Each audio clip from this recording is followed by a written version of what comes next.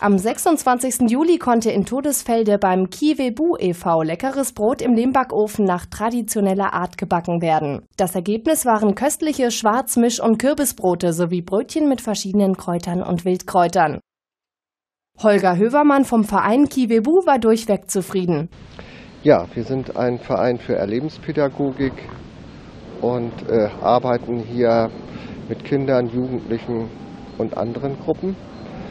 Wir machen Sinnesschulung basierend auf alten Handwerks- und Kulturtechniken, aber es kann auch jeder zu uns kommen. Äh, jeder bedeutet in den Sommerferien jetzt zum Beispiel jeden Tag und danach wieder von Donnerstag bis Sonntag. Also wir haben jetzt noch ein Eltern-Kind-Zeltlager, dann kommt ein Workshop mit, äh, für Grünholzwerken, dann haben wir ein Candlelight Walking im September und unser Kerzenziehen am Lagerfeuer im November.